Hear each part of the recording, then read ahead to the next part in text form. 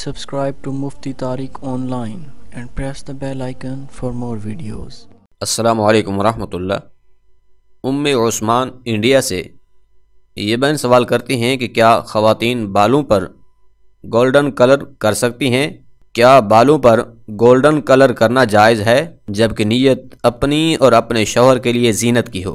Knees ये भी बता दें कि क्या इस तरह वज़ू और गसल हो जाता है या नहीं? देखिए, इसका जवाब ये है कि गोल्डन कलर का इस्तेमाल करना ये जायज़ है।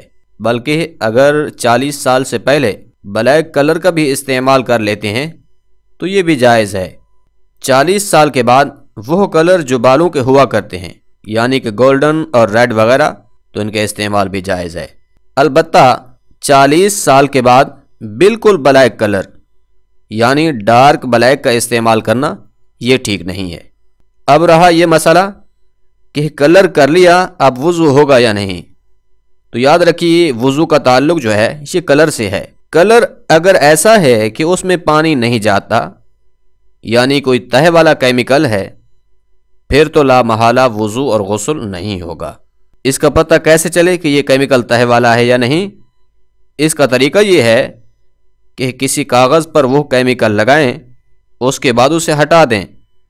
फिर उस कागज़ पर पानी का कतरा टपकाएँ।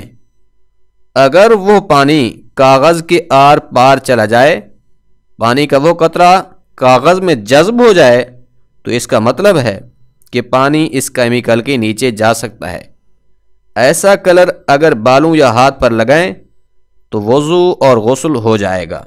अगर आपने ये देखा कि वो पानी का कतरा जो है उस कागज़ के ऊपर ही पड़ा हुआ है, नीचे जज्ब नहीं हो रहा, आर पार नहीं जा रहा।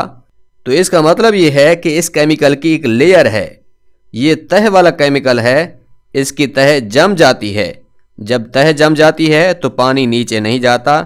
ऐसा कलर फिर अगर आप हाथों पर या सर पर लगाते हैं तो उससे वज़ू और गसल नहीं होगा।